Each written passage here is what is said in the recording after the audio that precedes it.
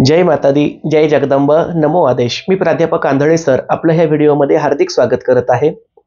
आज आपण किंक्रांत म्हणजे काय याविषयीची माहिती आणि किंक्रांतीची गुप्त तोडगा सुद्धा बघणार आहोत. बघा मकर संक्रांत ही पौष महिन्यामध्ये एकूण तीन दिवस साजरी केली जाते. संक्रांतीचा पहिला दिवस हा त्या ठिकाणी भोगी म्हणून साजरा केला जातो. भोगी म्हणजे उपभोग घेणे. या दिवशी तिळाचं उठणं असेल तेल असेल इत्यादी लावून अभंग्य स्नान केलं जातं. त्यानंतर गोडधोड पदार्थ केले जातात आणि मौज मजेमध्ये दिवस घालवला जातो.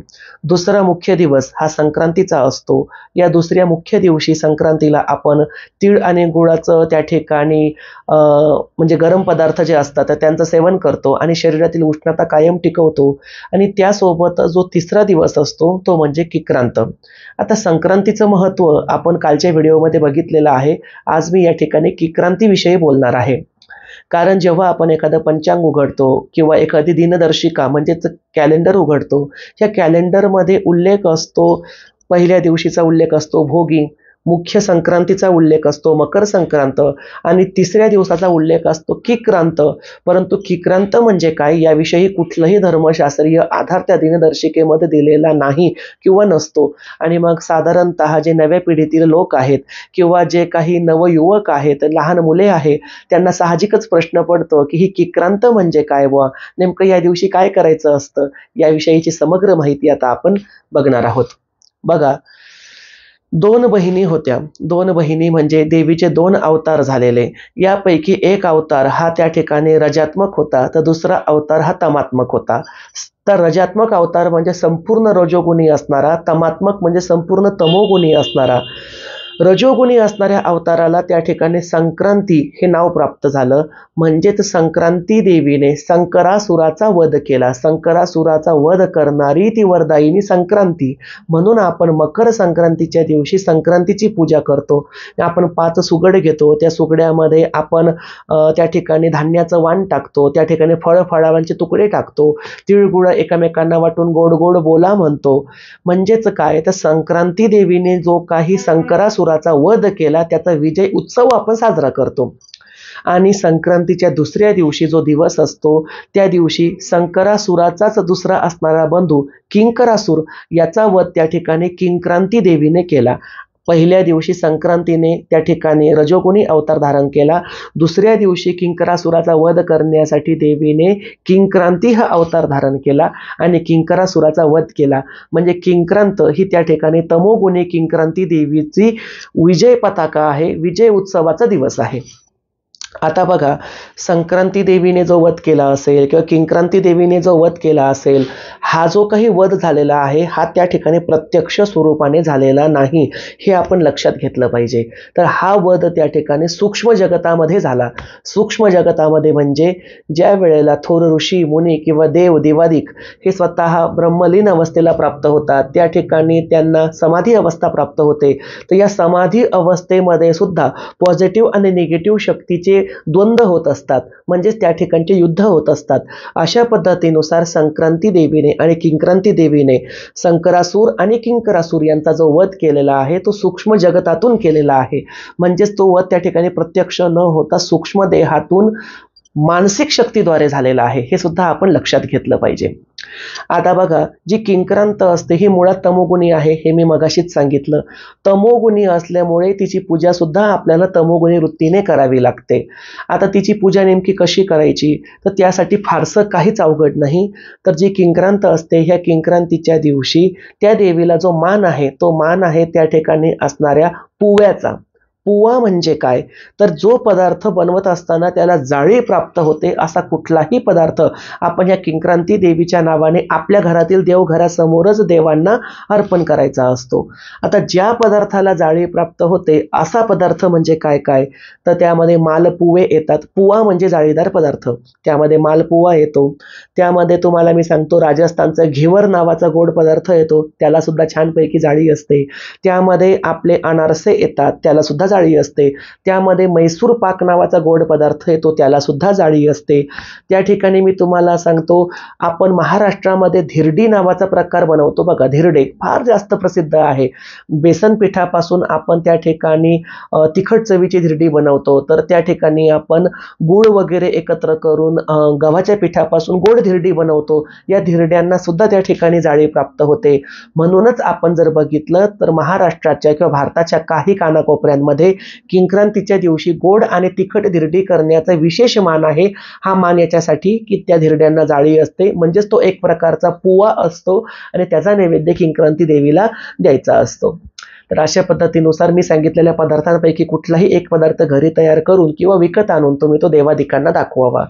आता संक्रांती आणि किंक्रांती ह्या देव्या जशा पद्धतीनुसार ध्यान अवस्थेमध्ये बसून त्यांनी व- दैत्यांचा वध केलेला आहे. म्हणजे हे जे त्यांचं युद्ध झालं हे मानस युद्ध झालेलं आहे. त्यामुळे संक्रांती आणि किंक्रांती देवीची कुठेही जगात मूर्ती उपलब्ध नाही. कुठेही त्यांचा फोटो किंवा चित्र उपलब्ध नाही.